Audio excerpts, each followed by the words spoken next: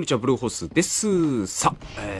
新年もね、もう4日目ですよ。早いね、み時間が経つのは。ということでね、未だにダッシュの仕方がわからない状態ではあるんですが、もういいやと思って諦めて、えー人生相談ね、サクサクっと乗っていきたいと思います。ちょっと待ってね、えっ、と、階段を登り切ったら行きましょうか。はい。アダムの顔を眺めながら、は.い、じゃあ行きましょう。えっと、新卒で好きな仕事に就くことができて、毎日楽しく過ごしています。しかし今の仕事は発給で生活をしていくにはギリギリの財政状況です。仕事に不満はないのですが、将来のことを考えると好きから離れて、もう少し給料のいいところへ転職した方がいいでしょうかということなんですが.うーん、まあ、どこに幸せの基準を持ってくるかですね。だからこれで、例えば、そのお金を持つことによって幸せを感じたいっていうのであれば、あの、当然ながら、あの、仕事、あ、じゃあ仕事じゃない。えっと、ね、給料がいいところに転職をした方がいいと思いますね。あの、まあ、例えばインセンティブがもらえるようなところとかね、インセンティブが、えっと、まあ、営業成績とか、あの、成果とかによって、えっと、得られるような、そういう給料のいいところに、えー、転職した方がいいと思いますし、ただ、給料じゃなくって、やっぱり、やりがいとかね、そういうところに着.眼点を置かれるということであれば、もう全然ね、そんな必要はないと思いますんで.そそういう場合は、あの、全然今の仕事をややるので全然問題ないんじゃないかなと思いますけどね。で倒れ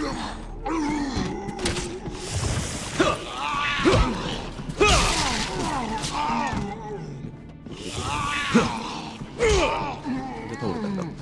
そうそうそう。だからどこにあなたがあの幸せを求めて生活をしていきたいか。もうこれに尽きるかと思いますよ。だから僕って僕じゃないな、まあ、若い人だったらそのお金を若いうちに貯めてしまって、まあ、将来楽をしたいからっていうのであのまあ、不動産みたいなね、あの、本当に1棟売れば5万円とか10万円とかみたいなボーナスがもらえるようなところを選択するっていう人もいたりしますし、例えばまあキーエンスみたいなね、かなりあの、高級だけど、やっぱりここ拘束時間が長かったりとか、もうやり方もガッチガチに縛られる、もう超論理思考のところみたいなのがあれば、あれですけど、だから、やっぱり長く、長く働いて、長く働いて、あのね、心身ともに健康でいたいみたいなことを考えるのであれば、その、別に発給であったとしても、普通にね、生活ができるような環境で過ごしてみられるっていうのは非常にいいんじゃないかなと思いますし、うん。まあ、あとはやっぱり人間関係がいいかどうかっていうのもね、結構大きくかかってくるところですから。で、あとね、もう一つは、なんだっけな。あ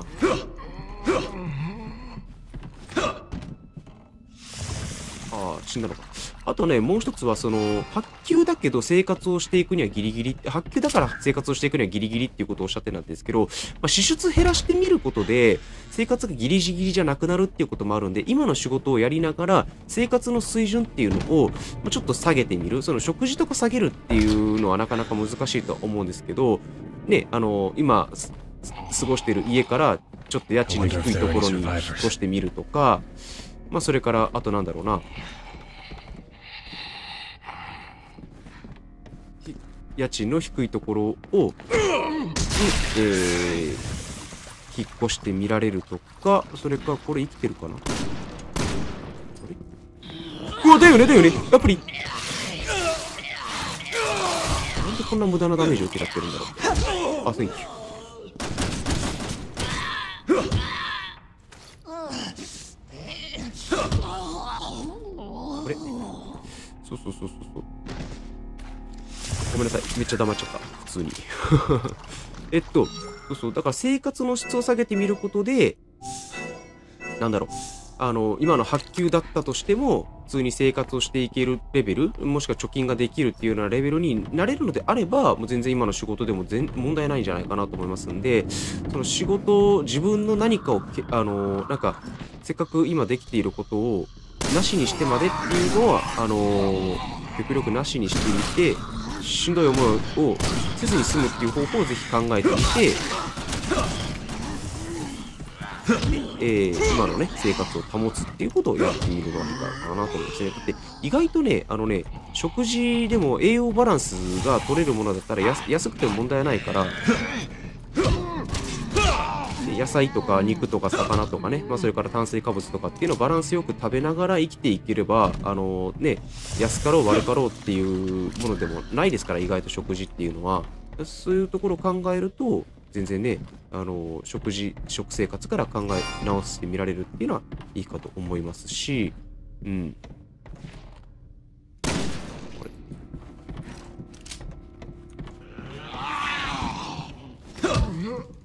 だからまあ全部仕事をね基準に考えなくてもいいっすよっていうところがまあ僕が言えることかな、うん、意外とね自炊とかしてみるとやっぱ時間かかるけどお金かなり貯まりましたからね。僕新卒で入った時に手取りが1718万くらいもっと少ないかの会社とかだったんですけど1年で貯金が10あ違う違う違う1年で貯金が100万くらいは余裕で貯まったんで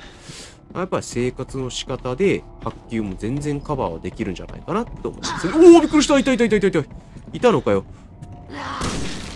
全然食らわねえし。どうなってんだ？ああ、びっくりした。というところですね。はい、ちょっとごめんなさい。ゲームに夢中になってグダグダになっちゃいましたね。はい。じゃあ続いていきましょうか。あ？なんだ？違う違う違う。はい.えーと、続いて、えーと、今の仕事に興味を持つことができず、毎日が苦痛です。転職を考えているのですが、そもそも仕事をするということ自体が嫌いなんだということに、い最近気がつき、仕事をしなくてもいい抜き道なみたいなものがあったら教えてください。ということですね。あの、真逆な感じですね。今の仕事が好きだけど、どうかみたいなのと、嫌いだけどどうかみたいなね。いててててて。カウンターがわからないな、これ。クリックでいいのかな？普通に。うん。まあそんなことも言いつつ。そうですね。まあ一つは、あの仕事が嫌でもし精神を病んでいらっしゃるというようなことであれば、あの普通になんだろう。ね、えっと、まあ一個考えるべきは、ね、病院でそういう鑑定を出していただいて、あれ？あ、いけるようになった。うん、鑑定を出していただいて、で、でまああの普通にせあの仕事辞めて生活保護をもらうみたいなことを、まあ、考えてみるのもどうかなと思いますね。うんまあ、そういう申請、まあ、申請厳しいみたいな話もありますけど、まあ、病気になっている以上は、まあ、役所も認めざるを得ないと思いますんで、うんまあ、そういう手段を取ってみられるかですね。あとは、まあ、男性の方なのか女性の方なのかちょっと分かりかねるんですが、まあ、普通にいい相手を見つけて玉残しもしくは逆玉に乗るとかそういう方法を考えてみられるかっていうとことですよね。うん、いててて。っていうところじゃないかな。あとは、そうだな。あとは、まあ、事業を起こす。まあ、ね、あの、仕事が嫌っていうのが、その、自分でしゅ、あの、な、あえっと、なんて言ったらいいんだ？あ、そうそう。人に使われて仕事をするのが嫌っていうパターンもあるんですけど、でも自分で仕事をするんだったら、あの、全然苦じゃないっていう方もいると思いますんで、というパターンもあると思うので、あ、いた、いって、あれ？カウンターができない。どどうやったらいいんだろう？カウンターのパターンがわからないので、まあちょっと勉強していこう。ということもあり得るので、まあ、だから何かこうね、事業を起こすっていうことも一つ考えてみるのもありなんじゃないかなと思いますね。うん。で、あの、その上で、まあ、何が自分にね、できるのかっていうことを考えるのすごく大事だったりしますし、それで逆に、あの、今ね、仕事が嫌ってことは多分雇われの身だと思うんですが、あの雇われる方から雇う方に変わってしまてば.あの、それでね、全然いいかなと思いますんで、雇、雇う側に回ることができれば、あのー逆にね、自分が仕事をしなくても勝手に周りが仕事をしてくれて、で、あの、結果的にね、あの、将来、あなたは一切働かなくても、えー誰かがお金を持ってきてくれるっていうような状況になったりもしますんで、違う違う違う違う違う。うん。そういうのを、まあ、将来的に目指してみられるっていうのは非常にいいんじゃないかなと思いますね。はい。まあ、そのあたりじゃないですかね。まあ、一番手っ取り早いのは、いい相手見つけて逆玉に乗るっていうところじゃないですかね。はい。ということで、えーと、ちょっと待ってね。この状況で質問を読むのはかなりきついんですが、行きましょうか。えっと、今の、今の.仕事が辛く転職を考えているんですが、家族もいるので、今より給料が下がってしまうのは難しいのではないかと思っています。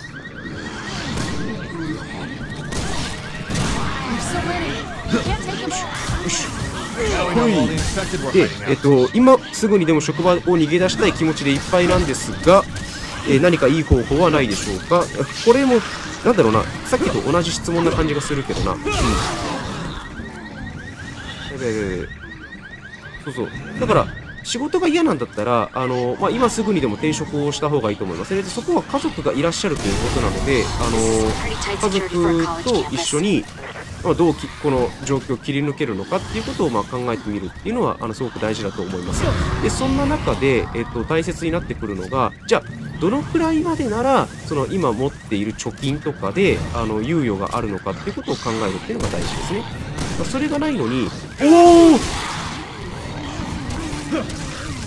それがないのにあのやっぱりねあのあなたの都合で転職したいっていうような状況になってしまうとアウトなのでだからどのくらいの猶予があってあのあなたが働くことができるのかあそれから、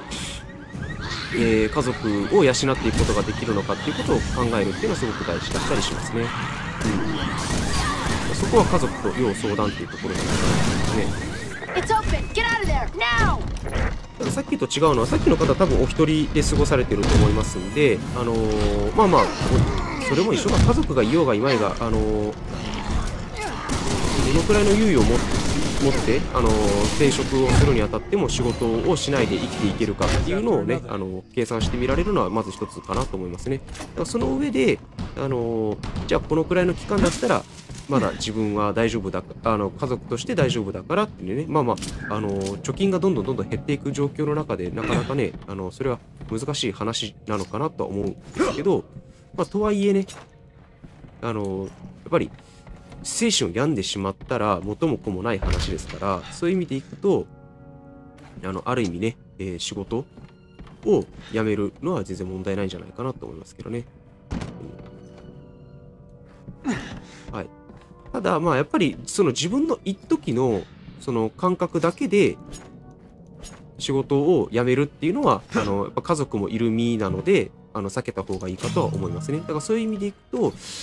許容範囲はどこなのかって、ちょっとリスクヘッジを取られるっていうのが大事だと思います。で、今言ったように、お金はどのくらい、あの、持つのかとか、そのあたりを、あの、きちんと考えてみられるっていうことが大事になることであるかな、というふうに思いますね。はい。ということで、えっと、続いて読んでいきましょうか。はい。これから就職活動が本格化してくるのですが、正直働く気が起きません。面接では将来のビジョンとか言わないといけないと思うのですが、何も浮かびません。ブルーホースさんは就活時や今ビジョンをお持ちでしょうか？どうしたらビジョンってできるでしょうか？ということですね。はい、ありがとうございます。えっと、まあ、ぶっちゃけビジョンとかは、あのーと、なんだろうな、家族、えっとね、仕事のビジョンと、あのー家族、えっ、とね、仕事のビジョンとあなたのビジョンをリンクさせない方がいいっすよ。あの、絶望しかないんで、普通に考えて。うん。で、あの、冷静に考えれば、あなたがね、やりたいことが、あの、その職場で叶えさせてくれるかっていうと、もう絶対そんなことはないんですよ。残念ながらね。あれ、これ来ないのかな？そう、残念ながらね。うん。それのことよりもあのあなたがどういうメリットを会社にもたらしてくれるのかどういう利益をあの会社にもたらしてくれるのかっていうことしかあの頭にないです。あの会社っていうのは残念ながら。うん。だからそういう意味ではそういう意味ではあのあなた個人のあのビジョンっていうのを持つ必要はあるかないかでいうと必要なら持った方がいいんですけどまあいらなければいあのなければないって全然問題はないですね。うん。というところです。で、ただ、とはいえ、あなたのビジョンは何ですか？とか、あっていうふうにやっぱりね、あの会社の人たち聞いてくるんですよ。あの仕事、あの仕事をやる上でね。で、ぶっちゃけて言うと、それを言ったところで、あの、じゃあ、それあなた叶えてくれるんですか？って言ったら、全然仕事に、あの、全然ね、あの力にはなってくれないので、うん。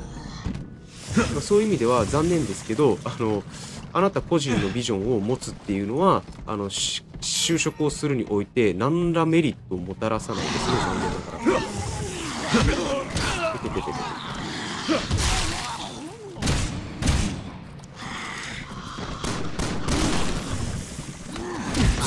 まあまあ就活の場でねあのそういうなんて言うんだろうあの持ってない人っていうのはビジョンを持ってないっていう人はねあのやっぱり持っている人と比べて、残念ながら、面接に落ちやすくなってしまうというような残念な状況もあったりするんですよね。だから、その会社が、まあ、掲げているね、あのビジョンとか理念とかっていうね、あの無駄に大層なものがあると思うんですけど、それが一体何なのかっていうのをあの見て、面接にね、その会社で受かりたいということであれば、あのその会社にの考えに近いようなことっていうのを、まあ、ちょっとね、あの考えてみるっていうのが大事だったりしますよね。うんなんかあのお客さんに向けてなんたらかんたらみたいなことを書いてるような会社だったらお客あのやっぱりあの御社の商品を売ることによってあ嘘御社のあの商品をあの売ることによってなんたらかんたらみたいなね、うん、ことを言ってみたりとかっていうようなところかな、うん、おお危ねめっちゃ切ったわ。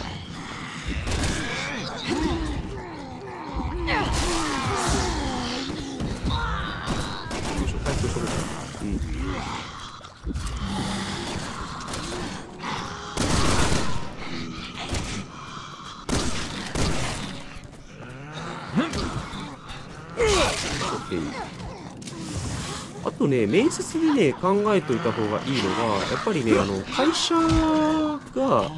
会社っていうかね、あの、嘘、嘘ついたらいけないけど、まあ、自分をよく、やっぱり見せなくちゃいけない場だったりするんで、あの周りの学生がどんなことを言いそうかなっていうことを、あの、きちんと考えた上で、やっぱりね、あのある程度の差別化をしなくちゃいけないんですよ。だから、あ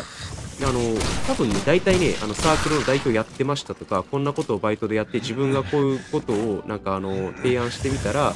あのなんか売り上げが1.5倍になりましたとか、大体ね、みんなね、同じようなエピソードを持ってくるんですよ。で、そこから、あの何を学んだかとか、何ができるようになったかっていう、その前後のストーリーっていうのをちゃんと喋れるようになったりとかいいですよね。じゃないと、あのね、結果だけ言っても、あ、あんたそれって自分の手柄じゃないよね、みたいな風に思われてしまうんですよね、どうしても。うん。そういう意味では、あのーなんでそうなったのかっていうことを、あの論理立ててストーリーで喋れるようになっておくっていうことがすごい大事だったりしますね。はい。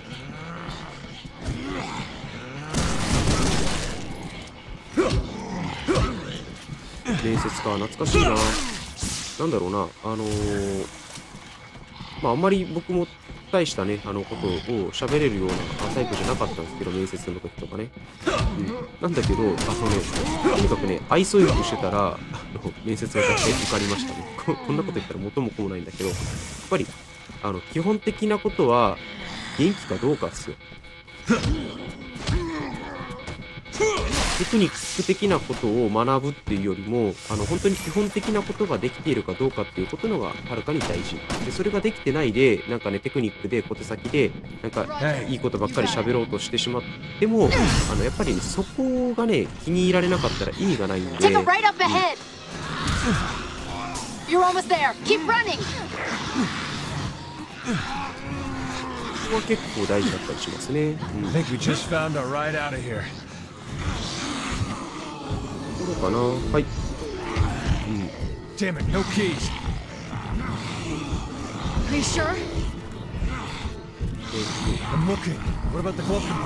あそうか。ビジョンの話か。ビジョンの話でいくとそうだな。まああのー、僕はね、未だにね、そのビジョンは何かお持ちかって言ったら、まあ、あの学生とかね、20代の若い人たちを、あのまあ、元気にするためのお手伝い、まあ、ビジョンを見つけたりとか.まあそれか.ら、まあ、普通にコーチングをね、やることによって、あの?コーチングを通してね、いろんな人たちのね、あの、人生をより良くするためのお手伝いがしたいっていうのが、まあ、今、ビジョンで言ったらあるかな。うん。っていうのもね、あの、まあ、ちょっと自分語りをさせてもらうと、自分が、その、学生だった頃とかに、こういう大人になりたいなっていう像がなかったんですよね。で、結局自分で自分のことをそのセルフコーチングするしかなかったっていうのが正直なところだったんで、でこういうこと同じことで悩んでる学生の人たちとか、まあ、若い人たちっていうのが非常に多いんじゃないかなっていうのが思ったんですよね。だそこで力になるためには、やっぱりあの自分が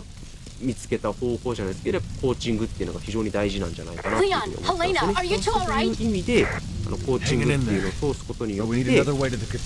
まあ、じあのいろんな人たちのあのビジョンとか.目標とか生きがいとかやりがいとかあ人生の.意味とかっていうのを見つけてもらうようなお手伝いができればなっていうふうに思ったりしてますね。うんまあ、それがまあビジョンちょっとって言ったらまあビジョンですね。僕が今やりたいっていうことになってきます。うん、